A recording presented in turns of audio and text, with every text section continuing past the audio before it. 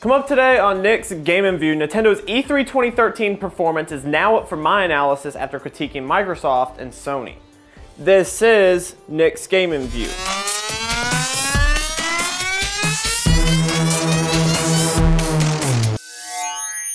Hello everyone and welcome to Nick's Game View. You are here with your host, Nick McCandless.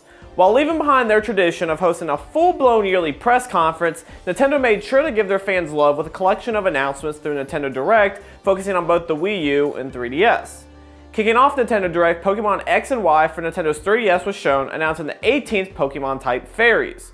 Effective against Dragon-type Pokemon, fairies are sure to add a twist to the game and prolong the enduring video game series. Super Mario 3D World was then announced for the Wii U, stylized similar to that of Super Mario 3D Land on the 3DS. Looks like your typical Mario platformer and will certainly be a hit when it launches on Wii U in December of this year. Mario wasn't done as Nintendo then announced Mario Kart 8 featuring anti-gravity, allowing gamers to drive upside down as well as the return of gliding from Mario Kart 7 and underwater racing and motorcycles from Mario Kart Wii. Nintendo then transitioned away from Mario with the announcement of Wii Party U, featuring over 80 mini-games and a board game structure similar to that of Mario Party with Mii's rather than characters from Mario.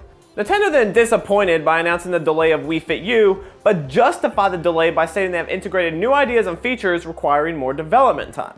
Getting back to positive news, Nintendo took note of the many Miiverse users drawing and sharing artwork, inspiring them to create Art Academy, originally a franchise exclusive to DS and 3DS. No release date was given, but Nintendo will release the art tools on their eShop sometime this summer. Nintendo then transitioned to third-party releases, trying to prove that despite the rough sales, third-party publishers are still supporting the platform. Showing Assassin's Creed 4 Black Flag, Batman Arkham Origins, Deus Ex Human Revolution The Director's Cut, Disney Infinity, Just Dance 2014, Rayman Legends, Scribblenauts Unmasked a DC Comics adventure, Splinter Cell Blacklist, Watch Dogs, and more, Nintendo wanted to make it clear that they weren't the only ones developing blockbuster releases for the Wii U. Indie love was also given by Nintendo with the showing of Ballpoint Universe, Cloudberry Kingdom, and Coaster Crazy Deluxe. DuckTales Remastered was also shown along with Capcom's upcoming Dungeons & Dragons Brawler. Mutant Mudds from the 3DS is being remade on the Wii U and will feature bonus content and features exclusive to the Wii U. Oddworld New and Tasty announced during Sony's press conference was announced for the Wii U as well as a new unique game by the name of Scram Kitty.